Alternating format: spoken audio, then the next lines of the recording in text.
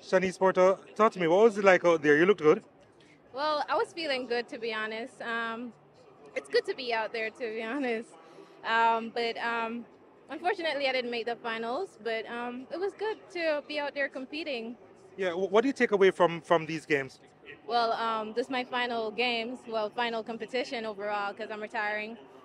But um, it was just good to be out here with these girls. Um, you know, they've been they've been competing all well this season, and for me to be out here with them, Well, good. well, all the best. Thank you.